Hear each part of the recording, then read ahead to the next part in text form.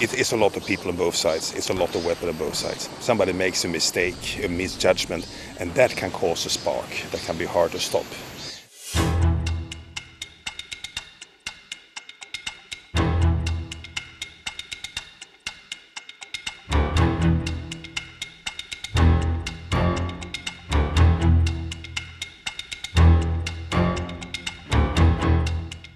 This is one of the military demarcation line markers.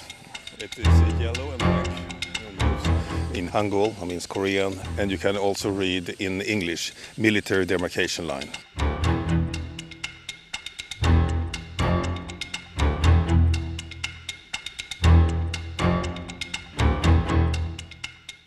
Uh, the Korean War, which started in June 1950, ended 27th of July 1953 with an armistice agreement. And that is the same armistice agreement that is valid here today. There is no peace between the countries, they are technically at war, but uh, the armistice keep the two countries from fighting each other.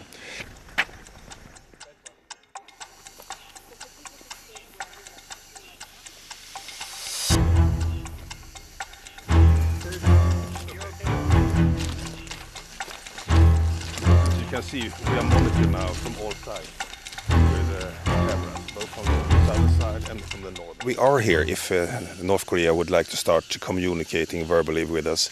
Do you recall the last time there was some kind of a violation? Has there been one in recent years?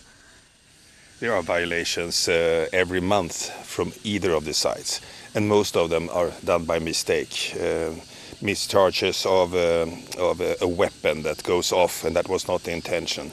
You know, in the event that we see things escalate, uh, you know, and if things start going terribly wrong, what are the actions that you would take in that situation? Of course, we would use all our our communication um, channels, all our uh, our uh, possibilities to try to negotiate and to calm down the situation wherever in, in whatever forum that could be.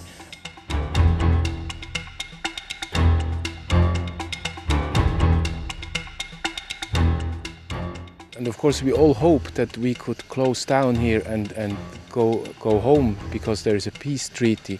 Um, our nice and good time here in Korea would end, but then we can say mission accomplished, we go home.